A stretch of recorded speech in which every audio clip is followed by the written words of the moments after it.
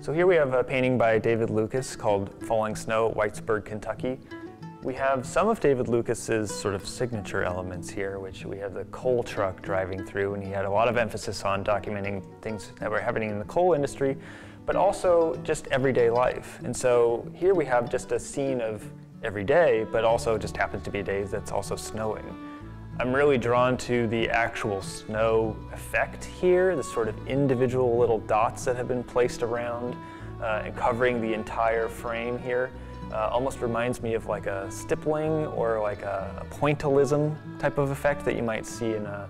uh, a painting like by uh, George Seurat or something like that, um, where you have these little tiny details that if you look at it up close, it's just a little dot, but as a collective, it has this whole texture to it.